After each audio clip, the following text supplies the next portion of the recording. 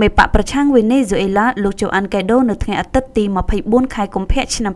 2019បានអំពាវនាវជាផ្លូវការឲ្យអន្តរជាតិពិចារណាលើជំរើសទាំងអស់ក្នុងនោះរួមមានទាំងការប្រើប្រាស់កម្លាំងយោធាដើម្បីបណ្ដេញប្រធានាធិបតីលោកនីកូឡាស់ម៉ាដូរ៉ូចេញពីអំណាចនេះបើតាមការជិមផ្សាយដោយសារប្រមាន Russian Today នៅថ្ងៃអាទិត្យទី24ខែកុម្ភៈឆ្នាំ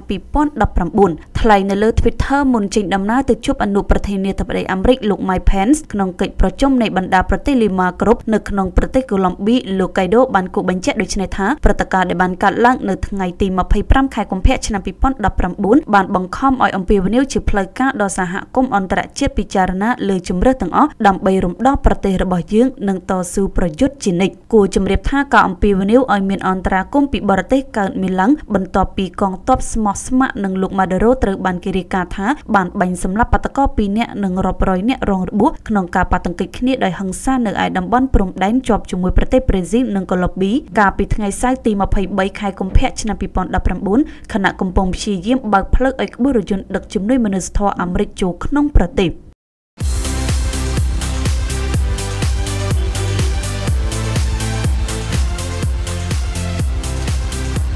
សេវាអេស៊ីលីដា Unity តនចិត្តជាសេវាហិរញ្ញវត្ថុមានប្រព័ន្ធបច្ចេកវិទ្យាទំនើបតនសម័យធ្វើឲ្យអតិថិជន ក្លាយជាម្ចាស់សេវាធនាគារដ៏ឆ្លាតវៃក្នុងកិច្ចធ្វើប្រតិបត្តិការស្វ័យសេវាធនាគារដោយខ្លួនឯងបានយ៉ាងសាមញ្ញងាយស្រួលនិងមានសុវត្ថិភាពខ្ពស់